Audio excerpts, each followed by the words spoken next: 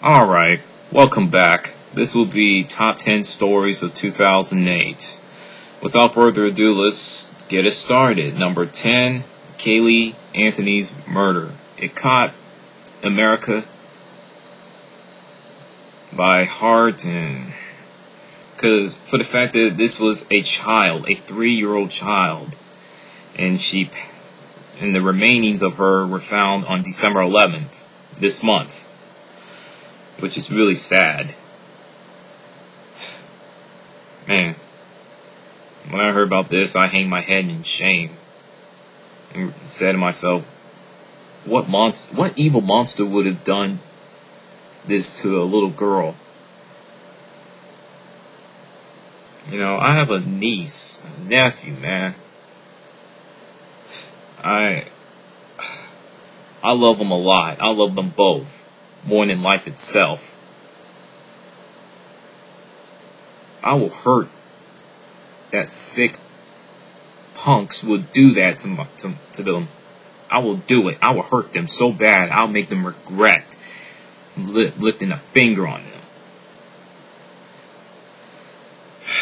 yeah, Casey Anthony's being charged with a first degree murder. Her brother, Lee Anthony's being looked at obstruction just obstruction of justice charges are pending against him. So it's not looking too good at all for her sister. Maybe not for maybe for him as well.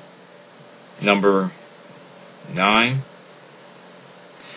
gas slash oil prices. I mean, a lot of people end up doing a staycation instead of doing a vacation for the fact that gas price was so freaking high. Went from $4.11, probably even higher in certain states, such as Hawaii, Alaska, California, to this month, I don't know, $1.69. wow. From President George W. Bush to President-elect Barack Obama. Democrats know how to spend their money wisely, and Republicans, they know how to waste their money. Mm, mm, mm. Number 8, China earthquake. 69, 70,000 people were killed. About 5 million people were homeless. Classrooms were disintegrated from the catastrophe. This happened on May 12, 2008, three months before Beijing Olympics in their home country. Hmm. To the people who perished during the earthquake, Rest in peace and my condol- deepest condolences. I mean it. Number seven, Beijing Olympics. I mean, it was great, man. I mean, just absolutely phenomenal. Michael Phelps winning eight gold medals as a swimmer. Usain Bolt, the Jamaican sprinter who won three gold medals did it without steroids, HGH, or other performance enhancing drugs just to get an edge over their competition. Commend him for that. I mean, people could declare track and field in the United States of America dead for the, for good reason. The drugs and everything. People are just deluding others. Say, oh, I never take drugs, I never did this. And next thing you know, they get caught and they weeping like a little baby. It's, oh, ah, shut up. Liar. I mean, USA men's basketball team, the redeemed team, did their thing, taking the gold medal, telling the rest of the world, you know what? This is our this is our sport that we invented. You're gonna have to take the gold medal from us. And gymnastics uh, controversy because the Chinese uh, girls, uh, how how young they were. Uh, Cuban Taekwondo fighter being banned from the sport for life for kicking a referee in the head. Mm, that's nice. And uh, United States men's volleyball head coach was murdered, and his wife was seriously hurt, injured from the attack. Before that, that Chinese man ended up committing suicide and the men's volleyball team rally around and won, won the gold medal. Very special moment. Very special moment. So, just crazy year in Beijing Olympics, you know. Number six, Nintendo Wii wins the 2008 Video Game Console Wars. I already touched that on the top five video game stories of 2008. Number five, The Dark Knight movie. It's being named the best picture in the Oscar awards. I saw the movie, it was fantastic. I wish, you know, Iron Man was up there too. I think it was pretty cool. I mean, Christian Bale, the best Batman since Michael Keaton, in my personal opinion. Don't take it so seriously. Why so serious, people? so, I mean, this movie was getting tons and tons of hype. The Dark Knight. So, number four, New York football Giants upset over the New England Patriots in Super Bowl in this past February.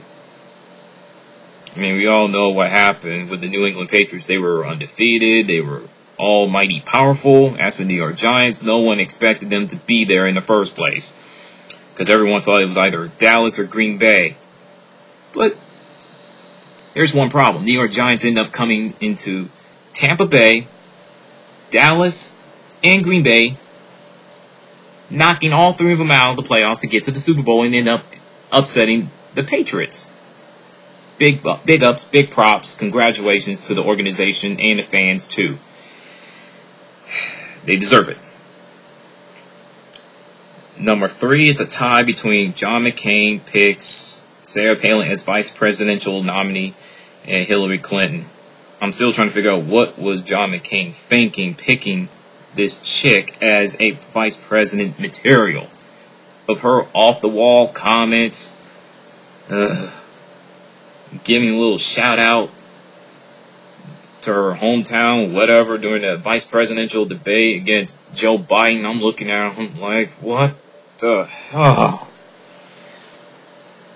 This chick is about as smart as a, as a box of rocks. Good lord. wow. I respect John McCain for what he did for this country, respect him as a politician, but he was doomed from the minute he picked Sarah Palin. Mm-mm-mm. As for Hillary Clinton, she had a chance to become the first female president of the United States. She had everything going for her until Barack Obama came into the picture and she had a rivalry with him and had a little controversy for the things he, she said and did. And she eventually bowed out. She just didn't have any chance against him at all. And uh, Hillary Clinton Kool-Aid drinkers and the supporters completely flipped out in calling the news media biased as all hell.